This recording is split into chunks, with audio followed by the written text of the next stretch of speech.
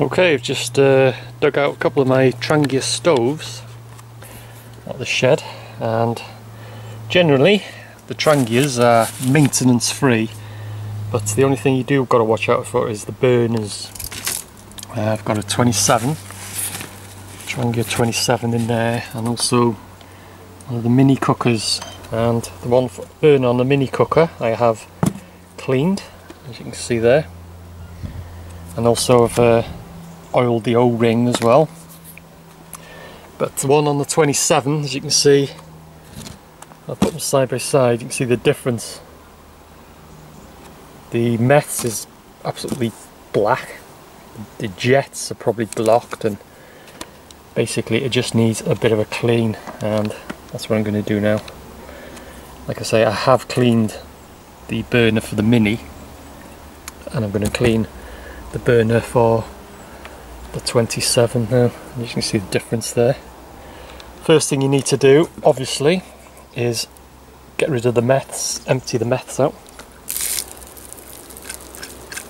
As you can see it's coming out of the jets but uh, it's a good idea to give them a good clean.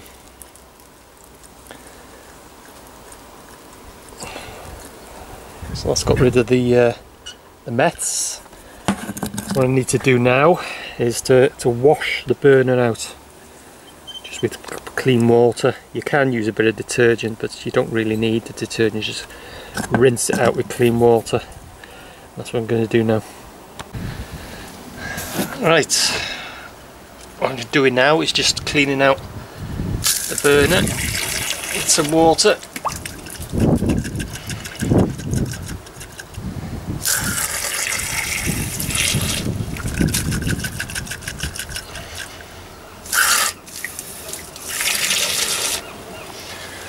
give it a wipe round around the top of the jets as well.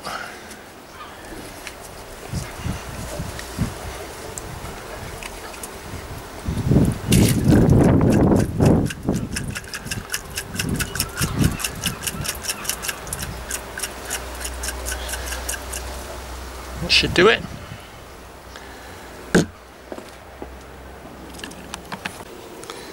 Right it's all rinsed out. next thing you need to do is get a safety pin or a needle, anything like that. And just go around all the jets. Just push the needle through them just to clear the jets for any blockages. Just keep doing that until you've gone around the entire burner and blocking the jets.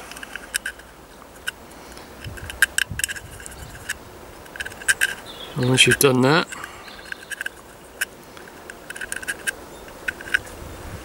just give it another rinse through with uh, clear water.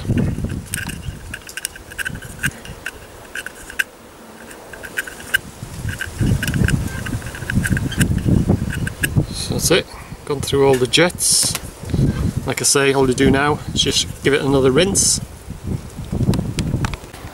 Right let's add another rinse and all the jets have all been unblocked. So just set that aside to let it dry out and then what I'm going to do now is to uh, clean out the lid. Okay I've uh, taken the o-ring out of the lid give the inside a clean get a bit of olive oil in your hand and just coat the ring with the olive oil. Give it a good coating. And once you've done that you can pop it back into the lid. Like that.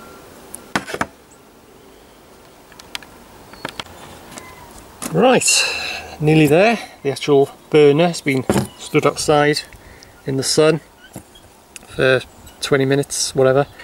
Nice and dry, ready to be refilled with the meths and tested. Alright, and that's it. Uh, just put some meths in it now. Um, it's very difficult to see. Don't know if you can just about make it out. Um, but I've lit it now and the, just testing it and the jets are kicking in now. Don't know if you can see it. In there, jets have just kicked in now. So that's it. Job done. And also, quick tip um, with the Trangias. If you once you've finished with the uh, burner, is always let it cool down before you put the lid on.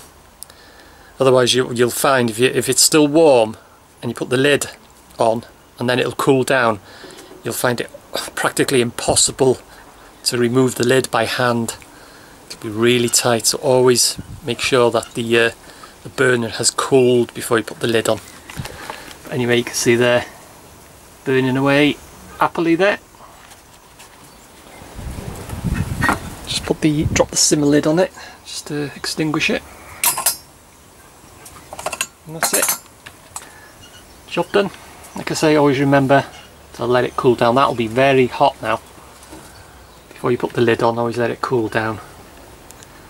So that's it. Job done.